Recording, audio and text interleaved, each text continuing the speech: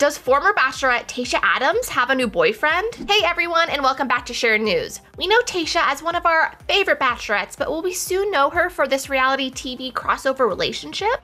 We will get all into it. But before then, if you're new here, hit that subscribe button and also that little notification so you can be the very first to see all of our pop culture updates. Rumor has it, Tayshia Adams and Bravo celebrity Luke Gulbranson are dating. Tayshia has been part of the rumor mill for a few months now, but this latest development makes me think that there's really something to it. After being spotted by DeuxMoi, going to dinner together, walking the streets of New York, we could thank this latest development for Summer House's Lindsay Hubbard. Tayshia and Luke spent their Easter over at Lindsay Hubbard and her fiance Carl Radke's house, and Lindsay Hubbard posted a group picture. What people soon realized, this picture included Tayshia and Luke holding hands. People started posting everywhere, including myself, and then all of a sudden, the picture was gone. But then, picture, exact same picture, reposted but just Luke and Tayshia cut out. I can only imagine what conversation between Luke and Tayshia and Lindsay. Like, I would love to be a fly on that wall. It was definitely my most memorable Easter memory, and who do I have to thank? Lindsay Hubbard.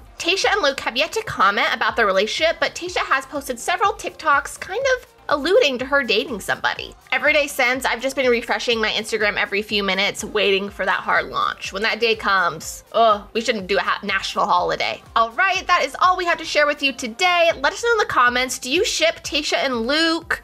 Or what do we think about this relationship? I'm kind of into it. And if Tayshia ends up on a season of Summer House, I will lose it in a good way. And before you go, please drop a like, comment, share, subscribe, and hit that little notification so you can be the very first to see all of our pop culture updates. As always, I'm your host, Kayla Galloway, and if you'd like to follow me, my handle is right here on the screen, and I'll see you next time.